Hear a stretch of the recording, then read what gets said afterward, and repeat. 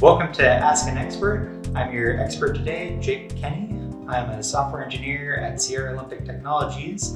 I'm here today at our headquarters in Hood River, Oregon, and I have a couple of different cameras I'd like to show you uh, and discuss camera non-uniformity correction, or NUCing. In raw, uncorrected video, each pixel responds a little differently when exposed to different amounts of energy. To correct this, we do a non-uniformity correction, or NUC. At our factory, we perform a calibration in front of a black body. This is a special instrument that is capable of providing a uniform source of infrared light. We first look at a low temperature black body and then a high temperature black body, and from the difference between the two, we're able to calculate a gain value for each pixel.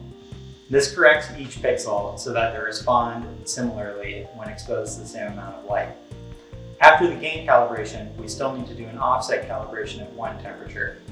This brings the camera into a completely uniform image. In a mid-wave camera, this offset calibration is only done at the factory. In a long-wave camera with a shutter, we can drop the shutter every 10 minutes or so and repeat the calibration. This allows us to correct for camera drift over time. On long-wave cameras, more frequent calibrations are required. When we look inside this Vayu HD, we see there's a shutter that can be raised up in front of the sensor. When the calibration is required, the shutter is put in place, the calibration is done against the shutter to bring the camera back to a uniform image, and then the shutter is lowered out of the scene to resume imaging. I have here with me today our Ventus OGI. This is a mid-wave camera, which we offer two NUC tables on. First NUC table is for low energies. This is a 20 millisecond integration time. Having a longer integration time allows the camera to capture more energy in each frame.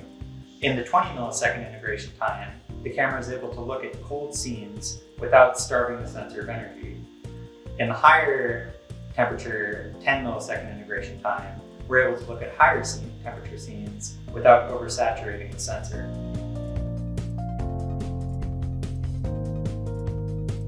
Thanks for watching. My name is Jake. This concludes our Ask an Expert video on camera non-uniformity correction. We'll be putting out more of these videos monthly, so if you have any ideas on other topics you'd like to see covered, please leave them in the comments below.